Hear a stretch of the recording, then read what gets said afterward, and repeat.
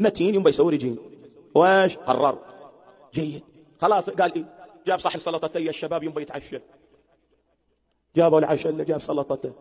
وايش بتاكل؟ سلطة روب خبز خفيف. إيش سلطة دي؟ إن شاء الله بتقعدين على سفرة. إيه وش فيه يا الجدري قال لك قال لك السلطة تعال شوف. شوف العيوش. شوف هذاك الدهنة شرشر شوف قط البيبسي في الماء. وهذا هو بلد الزباس.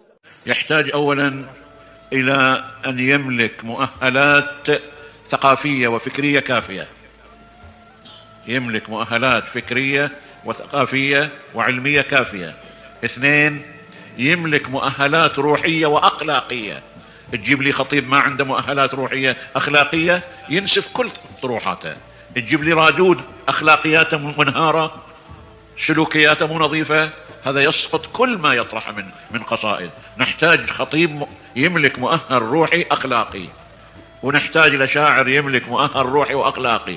ونحتاج إلى رادود يملك مؤهل روحي وأخلاقي. ثلاثة المؤهلات السلوكية.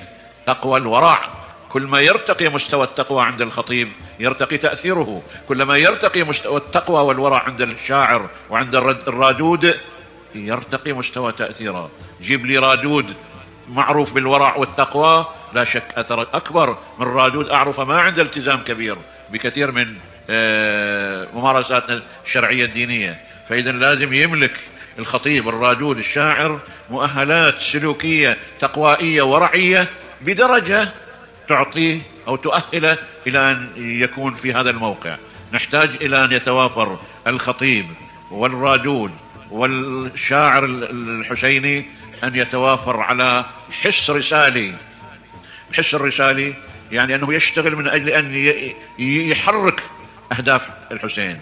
مفاهيم عاشوراء قيم عاشوراء يريد يزرعها في الناس يريد يصنع ناس مرتبطين بعاشوراء. مو واحد يريد يكسب شهرة. يجينا شاعر يجينا رادود المهم أن يكسب شهرة عند الجماهير. المهم أن الجماهير تردد شعره وقصائده ورداته.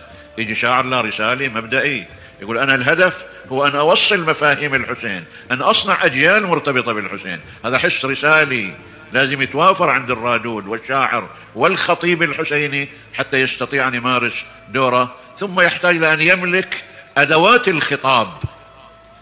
أدوات الخطاب أساليب الخطاب لغة الخطاب لغة الحديث مع الناس. كلما ترتقي اللغة ويرتقي الأسلوب يرتقي التأثير.